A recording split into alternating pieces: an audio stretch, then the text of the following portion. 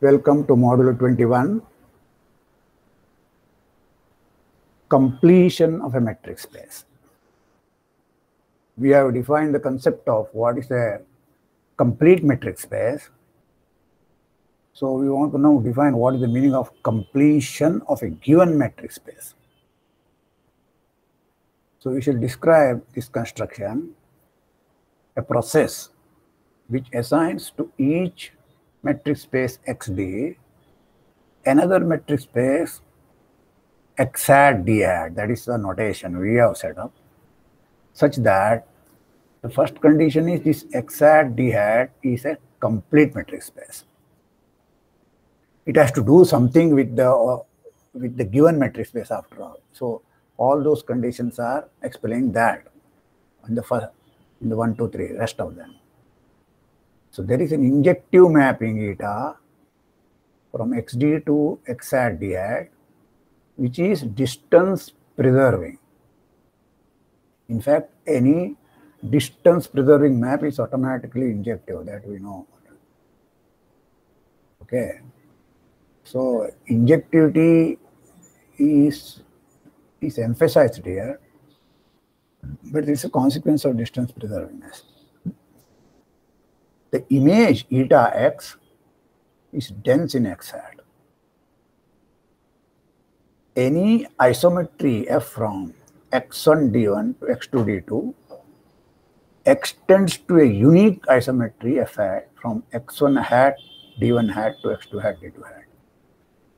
This is what I meant by instead of just you know describing x hat d hat, it's a process. Okay, so I can't explain it more than that, but I will use just to throw it a, throw a word. This is like what, what one calls canonical or categorical. You know, it's like a functor and so on. Okay, so that is the third part here. Any isometry F1, F from X1 to X2 extends uniquely from X1 hat to X2 hat. The fourth one is if xd is already complete, then eta itself is an isometry. In other words, up to isometry, we are not doing any new thing here at all. It is the old xd itself. Something is already complete, then there is no completion. Completion itself, you know, xd itself is its completion. So in what sense? Isometrically so because the construction has to be there for more general space, general uh, then you have to, in the special case, it will not be just XD, but some copy of XD. Copy means what again? Isometrically. So this eta itself is there, the canonical embedding of that. That will be surjective, that's all. Okay, it's injective, it is uh, isometry, it is surjective, the inverse will be also isometric. So these one, two, three, four explain okay the relation between x hat d hat and xd, the one which we have started with. Okay, so let us start with the construction. So this x hat d hat will be called completion of xd. That is what. One point I want to remind you, if you have done the metric completion of R in your analysis, then the process that I am going to do is half of that work, only 50% of that work. The metric completion of R starting with Q is exactly like this in the first half, and then there is more work to do there. Here we have less work to do. On the other hand, if you haven't done it, at least half of that part you will be learning today. I will not do the other latter half, but I will later on, if time permits, I will just explain how that is also done in the case of real numbers. So what I mean to say is here, you start with the rational numbers with the standard metric, namely distance metric, that we know that's not complete, right? When you complete it in this process, what you get is real numbers. So this part we will not prove now. Okay. We will only show the the process of you know, constructing the real numbers is similar to this one. That is what I want to emphasize. That's all. So the motivating fact is the following. Suppose we have two sequences A and Bn in X such that both of them converge to the same point X. Then of course, the first thing is both are Cauchy sequences. Moreover, the, both the sequences are coming nearer to that point after a certain stage. That is the meaning of that, right? So in particular, they will be nearer to each other. So how do we express, express that? There exists epsilon, there, for each epsilon, there exists n such that after that, so m is bigger than equal to n, the distance between am and bm, the same m, okay? This will be less than epsilon. Okay. This all that you have to do is you have to use triangle inequality here. So I will leave it to you to verify this one. Okay, two Cauchy sequences converging, then they will be nearer to each other by, by this definition. Okay, so that is the starting point. Which just means that you could take instead of x, you could take a, a neatly chosen Cauchy sequence. Since there is no way to choose a particular Cauchy sequence, what we would like to do is take all sequences, Cauchy sequences converging to that point to represent that point. Now, when that point is missing, see if that point is there for every Cauchy sequence, then it's complete already. When that point is missing, the Cauchy sequence will be there still. Look at all the Cauchy sequences. How to pick all of them? They must be nearer to each other. So that is how we come to this one. Take x, x twiddle, denote the set of all Cauchy sequences A in X. Now I define a function x at x twiddle cross x twiddle to 0 infinity by the formula d twiddle of AB. This A and B are now Cauchy sequences. Okay. Take the limit of d of A and Bn as n tends to infinity. So this is motivated by that. Uh, if an and bn were converging to same point, then this distance would have limit of this distance would have been zero. So that is our uh, motive. In general, what we do, we take this distance to measure their, uh, measure the distance between them. So this is the measure. That's what the d hat of AB, so d twiddle of AB, the limit of d of a and bn as n tends to infinity. Now here I want to caution you. Why this limit exists? both an and bn are Cauchy sequences. Therefore, whether they are convergent or not, they are bounded. Okay. When you have both of them are bounded, this limit will exist. All right. So that is the whole idea. Okay. Otherwise, you can directly verify this d of a and minus d of am bm okay by use uh, use uh, triangle inequality correctly this, this this difference modulus is always less than equal to d of a n a m plus d of b n b m now if n and m are very large we know that this is less than epsilon these are less than epsilon. Or both of them less than epsilon by 2 you can make. Okay. So here AN, BN, AM, BM, this will convert to 0 or some number because you don't know what this number is. Okay. So if they are if if, if uh, they are Cauchy sequences and so on, you can you can at least whatever I want to say is this is Cauchy sequence of real number. It converges to something, both of them. This inequality is there. So this will be a convergent sequence, that's all. Now, by the very definition, if you interchange B and A, here B and A, will interchange, the number is the same, so limit will be the same. So it is symmetric. For each A, B, and C, three sequences, distance between A and C is limit of this one, but AN to CN, you can write it as AN to BN plus BN to CN. So each term can be replaced by sum of two terms when you take the limit, it's the limit of the, the sums,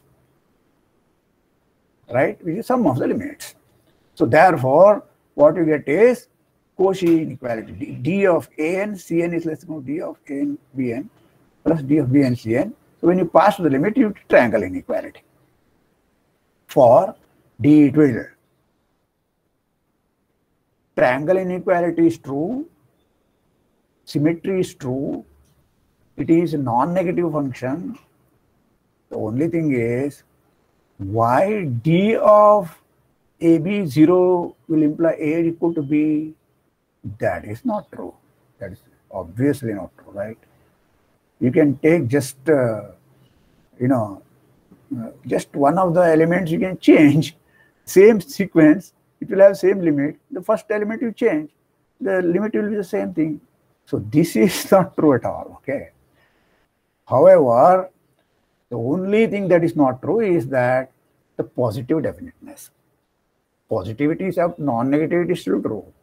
The definiteness part is missing here. The D0 is missing here. Okay. D2, D3 axiom for D2 is true. Okay. So the only thing which means D1, this is one of the exercises given to you earlier if you have spent some time on it, even if you have not solved completely, these things should be easy for you to understand now. In any case, whatever is needed here in the proof of this theorem, I am going to explain it, okay? So what we are going to do, we make a relation on x hat, on x twiddle by saying that A is related to B if and only if D hat of AB is 0. Just because D hat of AB is 0 does not imply A could be, so we are making this relation. Otherwise, there is no need. Using triangle inequality again, you can check that this is a equivalence relation. Symmetry is obvious by the definition because d hat is symmetric function. d, d twiddle is symmetric function. Okay. Reflexivity is obvious. d hat of AA is always 0. All right. If d hat of d twiddle of AB is 0 and d twiddle of BC is 0, then you should see that d twiddle of AC is also 0 by triangle inequality. That's all.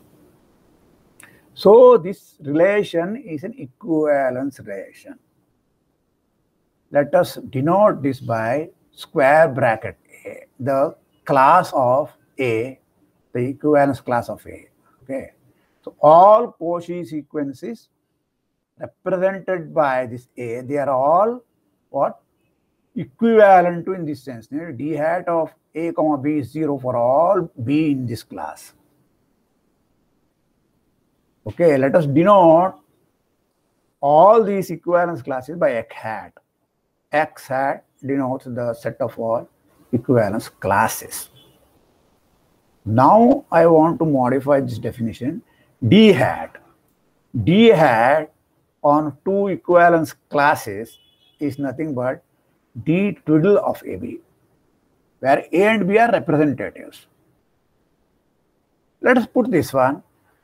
To say that this is well defined, what I have to do?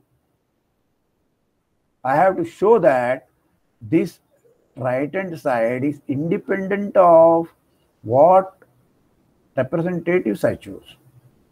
So they are all same. Then this uh, left hand side can be equal to right hand side makes sense. Otherwise, if d hat of a comma b keeps changing as you change the representative, then this will not be well defined, right? Well definedness means that. So whenever you have choice in the definition, you have to you have to verify that the whatever you have taken the right hand side is independent of the choice. So suppose A is equivalent to A prime, B is equivalent to B prime. We must show that d hat of AB, same thing as d hat of A prime B prime. d hat of A A prime is 0. That is the meaning of A is equivalent to A prime. Similarly, d hat of B, B d twiddle of B B prime is 0, right? Because B is equal to B prime.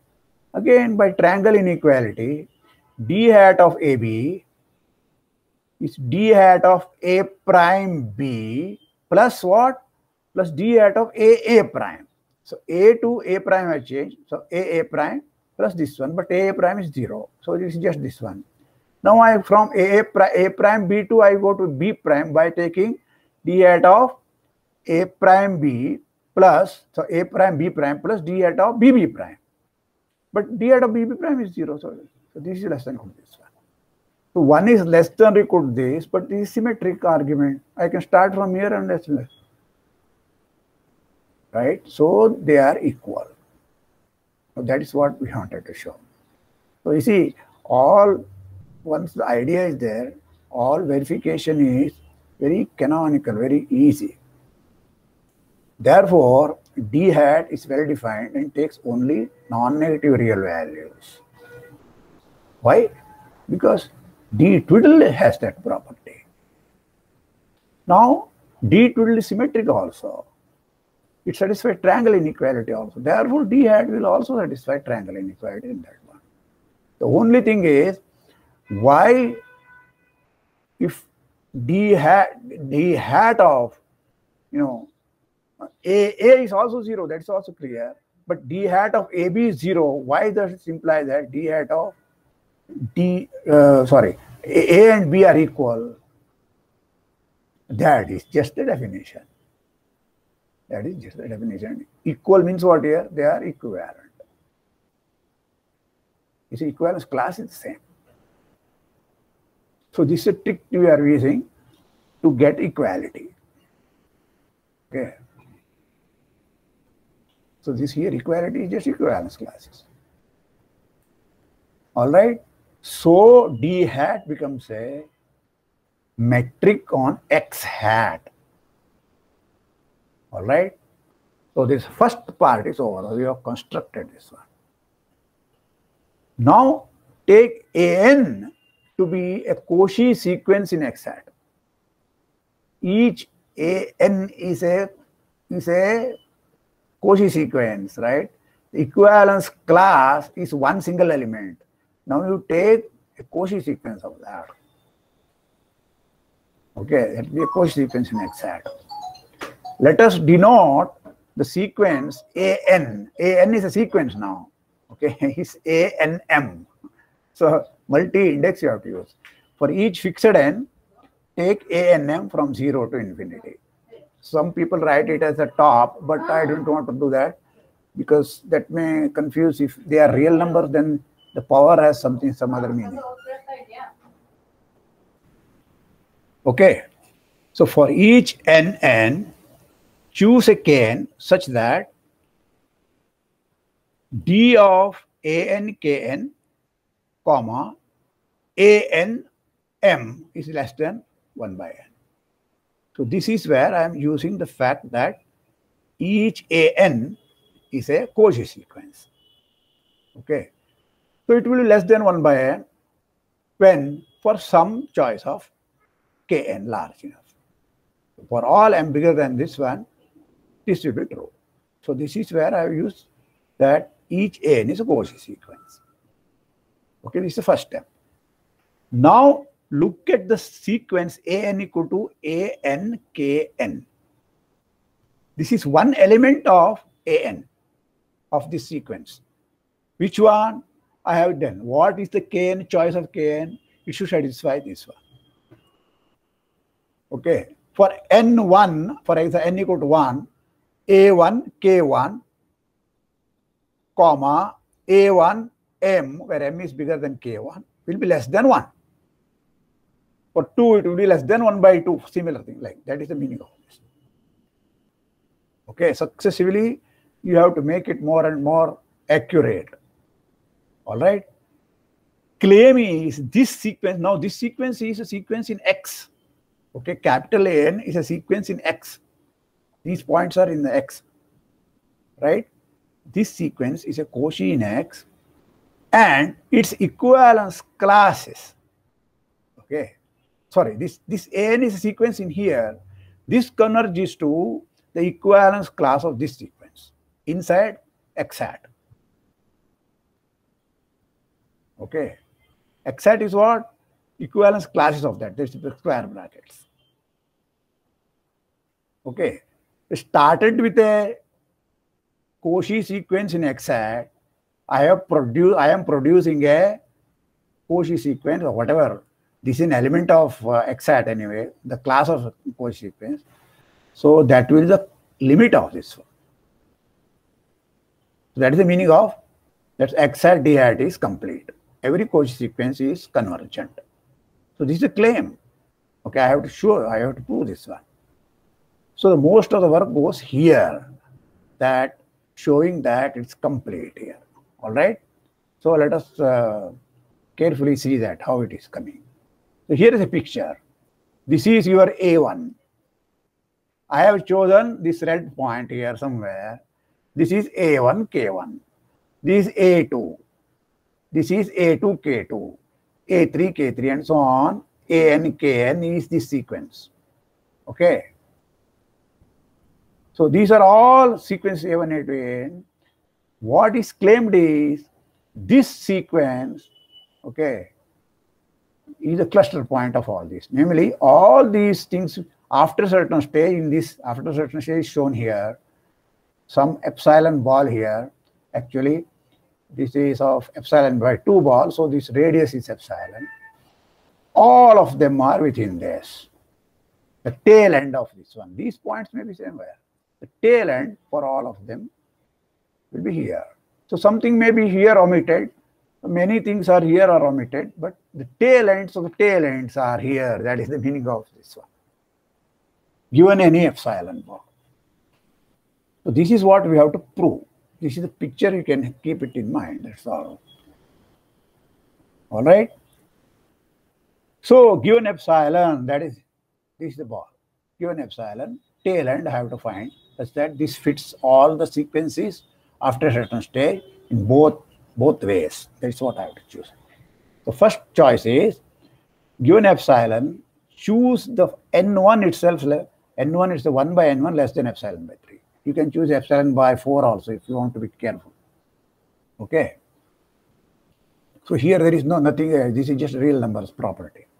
Since an, okay, is Cauchy in x hat, okay, there exists an n2 such that d twiddle of ar as is less than epsilon by 3 for every ar s less than n2. Remember, this d hat was nothing but d twiddle of the representatives. Okay, these are classes. AR, if you put a bracket here, d hat of AR, d hat of d hat of AR and AS here brackets.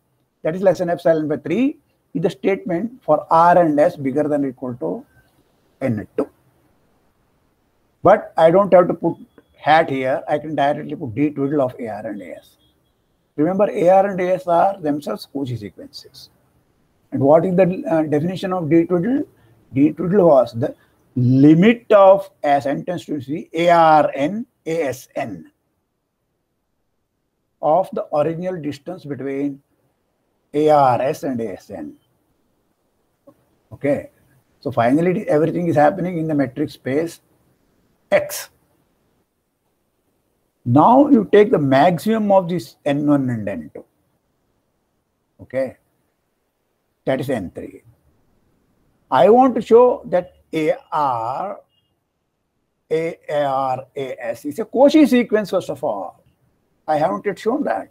Without that, it will not be, uh, it will not be in x twiddle so it will not be inside X hat. The first thing is to show that A itself is a Cauchy sequence. That means what? For any epsilon, I must find a R and S such that the distance between AR and AS is less than epsilon, right? Or epsilon by 3, whatever you want to say. So that's what I have shown. So fix R and S were bigger than N3.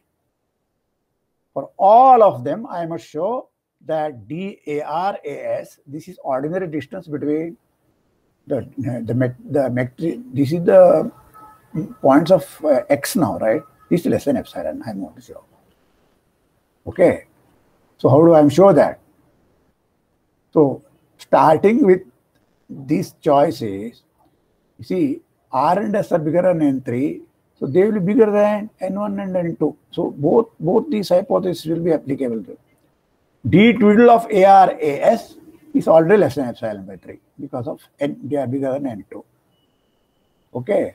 So this implies that there exists in N4. Now I am using the definition of D twiddle because it was taking limits, right? The limit is less than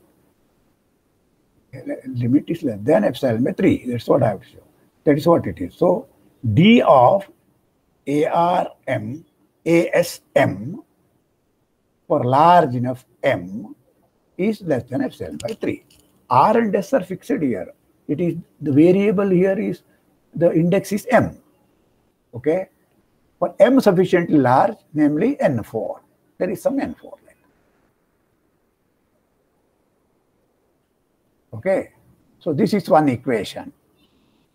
Okay, now you choose M to be bigger than, M is bigger than all the time. If some it has to be bigger than something, I can choose it even bigger than that one. M to be bigger than KR, KS, and N4. Okay, then you can apply both this, this what is this 18 here? See, for this one, M should be bigger, bigger than KR, uh, KN, right? So I am applying it for N equal to R, so it must be bigger than Kr. Applying it for n equal to s should be bigger than ks. So I am taking it bigger than kr, ks as well as to satisfy this bigger than n for also. Okay, so both 18 and 19 are available to me. So I just use triangle inequality now. D of ARAS, what are ARAS? By definition, AR, KR, AS, KS. So this is the ordinary distance of the metric metric space X, right? So triangle inequality, right? It is three different, namely AR, KR to ARM, okay? Where M is chosen to be larger than all these. Plus ARM to ASM, jump to SM. From ASM, come back to ASKS. So this is triangle inequality. Okay, this is less than this one. From 18, these two things will be less than epsilon by 3.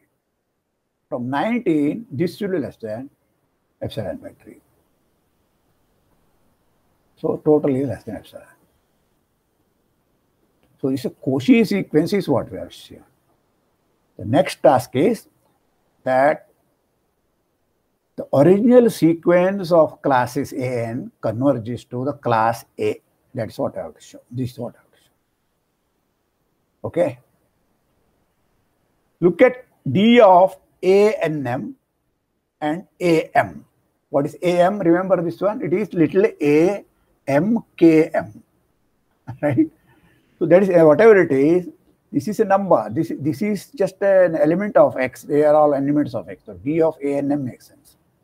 Which is less than equal to d of a and m to a n, and then a n to a m. So this just triangle inequality. Okay. Now the first term on the right hand side, this one, is less than 1 by n for m bigger than kn.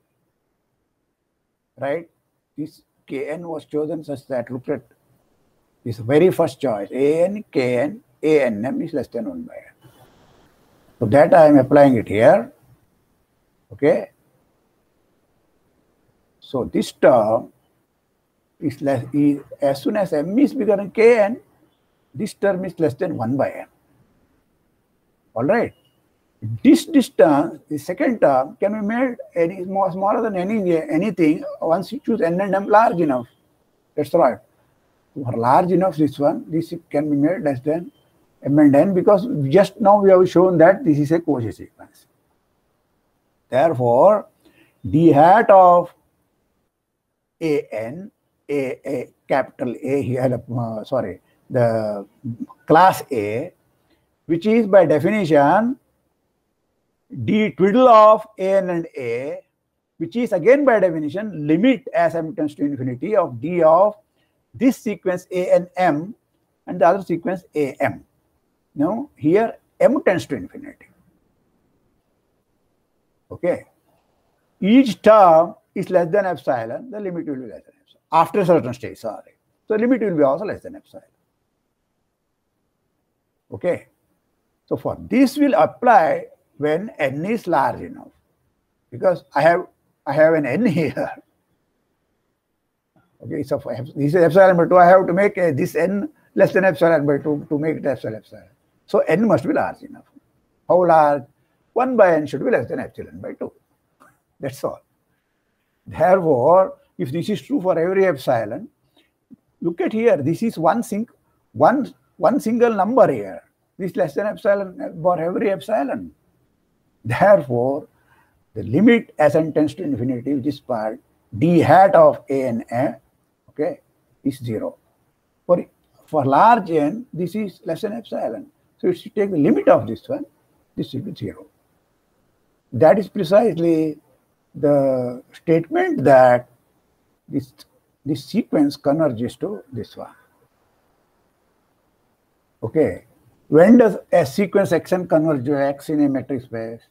Distance between xn and x limit is zero. Okay. So, what we have done, we have just completed the, the construction and property zero that X hat is a complete metric space. Now we have to verify 1, 2, 3, 4. They are all easy. All right, hard work is already done. So it remains to prove that four properties 1, 2, 3, 4. Okay. The first thing is I have defined eta. Eta of x to x hat, that's what I have to define. Given any x belonging to x, Consider the constant sequence x, x, x, x. The nth term is x. Look at that sequence. That is obviously a Cauchy sequence. Take its class. That's an element of x hat. Okay? So this way I get the function eta x is the class of cx. Obviously, eta is injective. Okay? Why? Suppose eta x is equal to eta y.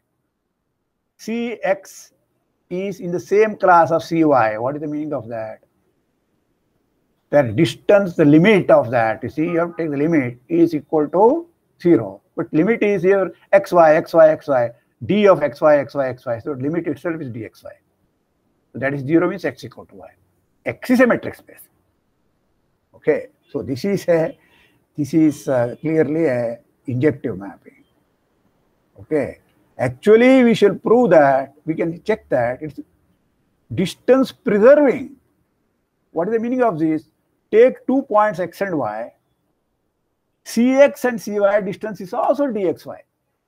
So that is the meaning of this distance d hat of cx, cy is equal to d of xy because it is both of them are constant sequences. Okay, so it is automatically distance preserving and hence injective mapping. What is the second thing here? I forgot. What is it? Eta is dense inside X. The image is dense in X. Take any open ball in X you must find a point eta x inside that, which must intersect eta capital X. So that is the meaning of that, right? Density of eta x. Okay, so here it is. We shall prove that every open ball in X hat intersects eta x. Okay, given xn, a sequence, Cauchy sequence, and its class. Okay, take a uh, r positive and take an open ball around that of radius r.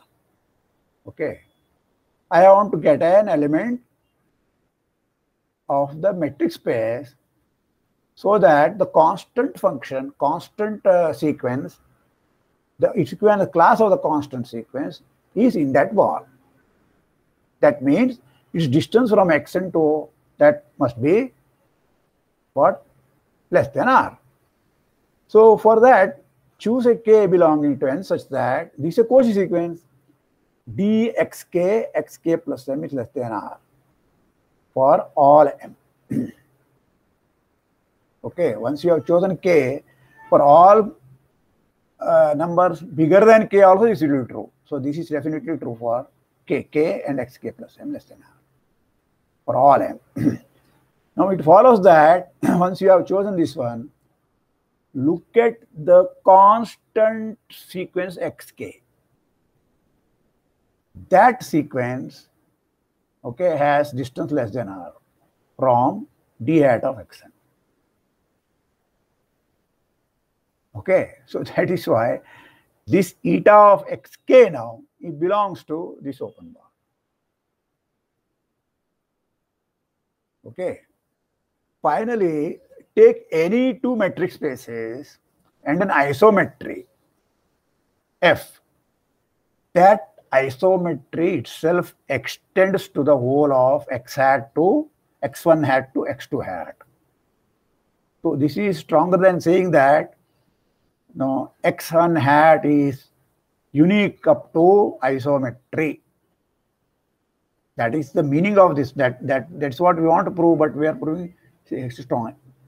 The actual isometry, each isometry extends. Okay. So how do we prove that? Isometry means distance preserving. Look at the construction of x1 hat and x2 hat. It just depends upon the metric there. That's all. So in isometry, it is metric equivalence, right? For everything, it will be Cauchy sequence preserved, everything will be preserved. Equivalence will be preserved, that's why. So that's what you have. Take a sequence, Cauchy sequence in X1. F hat of A, which is F of ANs, that sequence, that will be Cauchy inside X2. Even, even just uh, uh, similarity would have given you this one, right? Here we have an isometry. Okay. Since isometry is preserved Cauchy sequences, first of all, F hat is well defined from x1 twiddle to x2 twiddle. Okay. Here take a Cauchy sequence. F of that will be a Cauchy sequence here. Okay. Now you see that this F hat is an isometry of the corresponding D1 twiddle, D2 twiddle, the pseudo-metric spaces. The D2 twiddle distance is preserved by this F hat, F twiddle. D2 twiddle of F of An, F of Bn, by definition, is the limit as n tends to infinity, D2 of F of An, F of Bn. Each F of An, F of Bn is the same thing as d1 distance between these d1 of a and bn right? Because f itself is isometry. If this limit is d total of AB, the given sequence A and Bn. So that is the meaning of that. F is, you know, distance preserving from D1 to D2, D1 twiddle to D2 twiddle. Okay.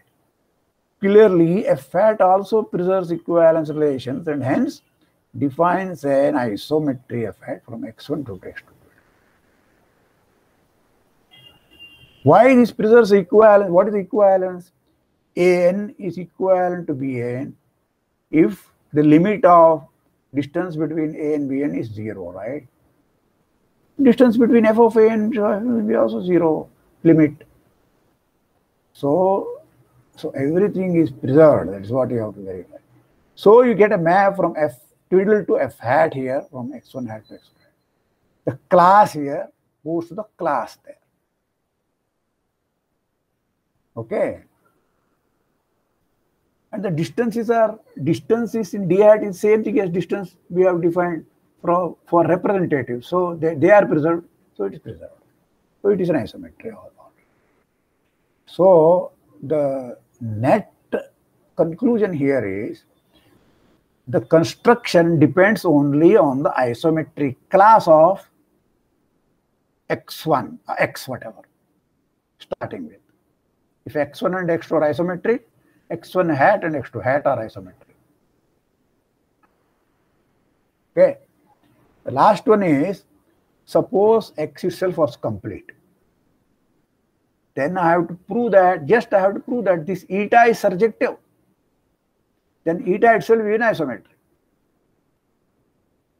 Okay? So why it is surjective? Take any xn in x hat. Okay? The class represented by a Cauchy sequence xn in x. That is the meaning of this uh, x hat, right? Since x is complete, it has a limit this xn has a limit.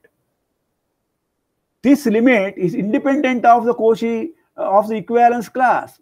All the sequences, whatever sequence you take here, okay, representing this one, they will all be convergent. They will be convergent to the same x because the distance, limit of distance between xn and yn, that itself will be zero. So if it's this is x and that is y, x will be equal to y. So there's a unique limit here inside X. Okay. Now, very easy to verify that the constant sequence Cx itself, the equivalence class, itself will be in the class of Xn. So you have to show that these two are equivalent. What is the meaning of that? Distance between Xn and this Cx, that is tends to zero. But that is the definition of that xn converges to x. Okay, so that is the meaning of this one.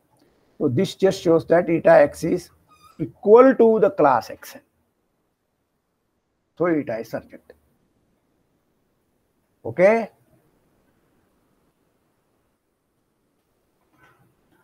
So that is more or less uh, completes uh, several things that we have in mind about metric spaces. That doesn't mean that the study of metric space is completed. There are many things. But now onwards, we will concentrate more and more on general topological spaces, bringing in metric spaces only to strengthen the results that uh, the topological results will give you about metric spaces. Okay? Any questions? Here are some exercises all straightforward exercises, nothing to do with completion, of course. Okay, just uh, ordinary exercises. This is about the product, finite product of metric spaces. All right. This is about, again, finite many things. Then you want to, want to take it as the maximum metric. Just like L infinity norm, you can do L infinity, the D infinity metric here the d infinity corresponding to maximum, that infinity symbol. Okay. So that is the next chapter now. So if there are no questions, we will stop here. Thank you.